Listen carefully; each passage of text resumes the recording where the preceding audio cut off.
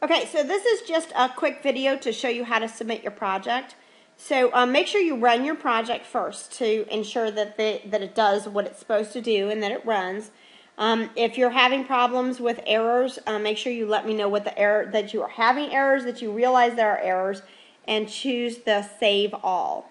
Okay. Now, for most of you guys, it's going to be saving in um, in your My Documents folder if you didn't change the path. So what you're going to do is you're going to go to My Documents and go to uh, NetBeans Projects is going to be the default name of the folder. Find the project that you want to zip. So, um, so it's the name of whatever your project is. You want the top level because I need all this stuff. See all this stuff in here? I need all that. Okay, so we're going to go back here. So you're going to find that top level folder, right click, and choose um, uh, send to, and then you're going to send to compressed. And then this is what you're going to turn in. Okay, that's what you're going to turn in. Now, if you're looking for your code, if you click on it and you click on the SRC folder that stands for source, and you go in here, this is your source code here. It's a Java file. The extension on this is .java, .java.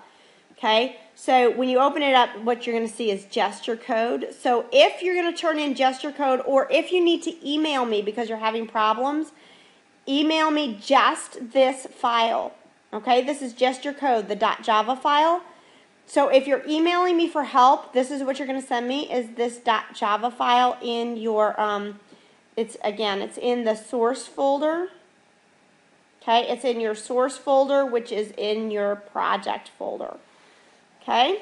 But for submitting, for turning it in, submit the whole zip file.